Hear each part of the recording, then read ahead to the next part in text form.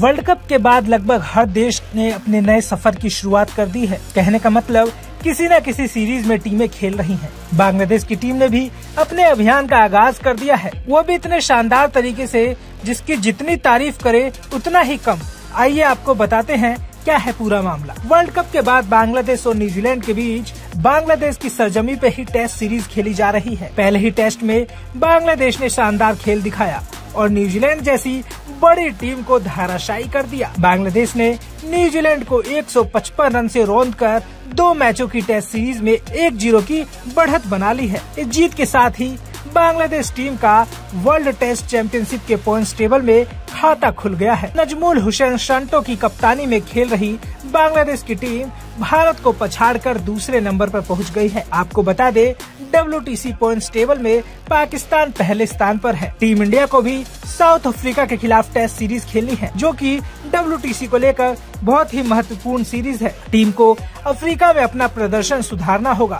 नहीं तो इस बार खामियाजा डब्ल्यू के रूप में भुगत सकते हैं। अगर बात करें बांग्लादेश टेस्ट क्रिकेट की तो पिछले तेईस महीने में बांग्लादेश की न्यूजीलैंड के खिलाफ टेस्ट में ये दूसरी जीत है। बांग्ला टाइगर्स ने अपने घर में पहली बार टेस्ट में कीवियों का शिकार किया। इस सीज़न में बांग्लादेश की टीम पहली बार टेस्ट खेलने उतरी थी।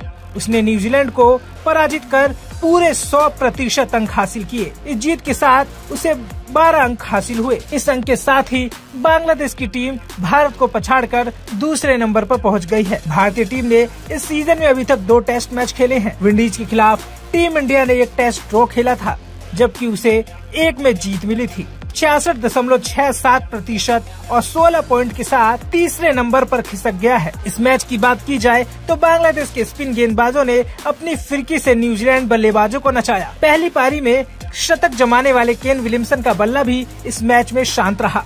न्यूजीलैंड टीम के बड़े बड़े नाम बांग्लादेश की गेंदबाजी के आगे टिक नहीं पाए और टीम को बुरी तरह हार का सामना करना पड़ा। बांग्लादेश के लिए ये जीत बड़ी इसलिए भी है क्योंकि न्यूजीलैंड टीम के पास अपने सभी अनुभवी बल्लेबाज मौजूद थे। वही दूसरी तरफ़ बांग्लादेश टीम के पास उतना एक्सपीरियंस नहीं था। शायद ये जीत टीम का आने वाले मैचों में और भी मनोबल बढ़ाएगी।